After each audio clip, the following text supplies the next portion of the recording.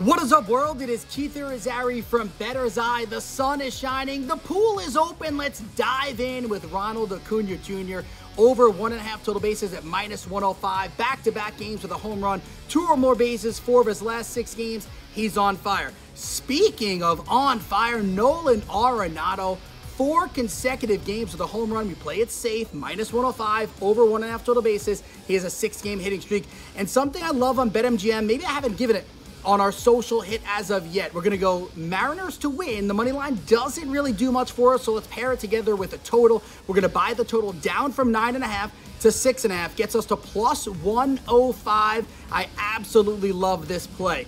Join me and Matt Striker tonight at 6 p.m. Eastern on MLB.com and MLB.tv.